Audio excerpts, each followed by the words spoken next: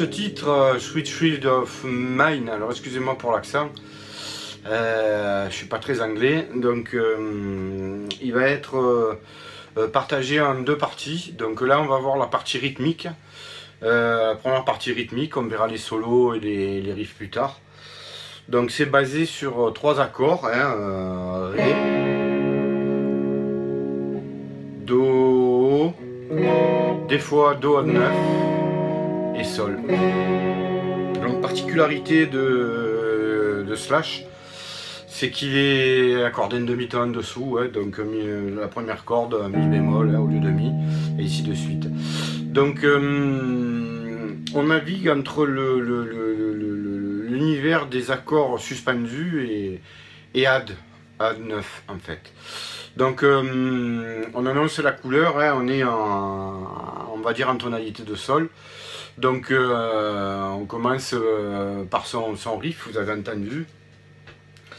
Et puis la rythmique, elle rentre euh, au niveau de la mesure 7, il me semble, euh, par des accorderies, par une accorderie, pardon, en croche. Ensuite, c'est...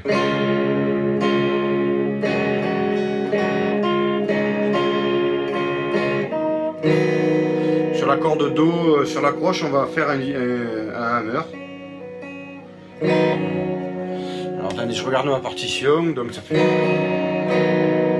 Et ensuite, c'est là où on va enclencher le Do à 9, donc ça fait...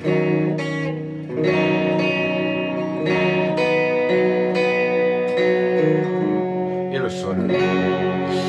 Ça, c'est euh, pratiquement sur tout, tout, tout, tout le riff. Euh, à un moment donné, vous verrez... Euh, quand euh, il attaque le chorus en fait, slash, ben, la rythmique elle fait, là on passe sur de l'accord de La, Si et Do en fait, des, accords de, Kent. Hein.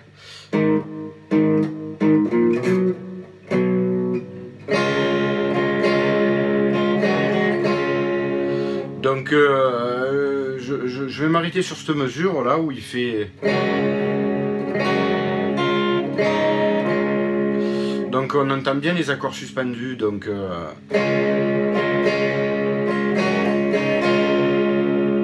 Et on repart sur euh, les accords de La5, 6, 5 et Do5.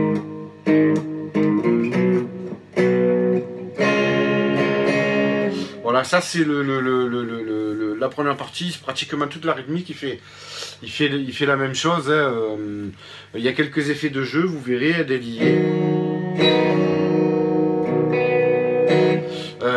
moi je suis un son clair, un petit chorus et une légère overdrive. Euh, vraiment la drive à, 1, 2, pas plus quoi. Voilà, donc euh, nous allons passer sur une vidéo euh, future au, riff qui fait en intro et sur la suite. Voilà, salut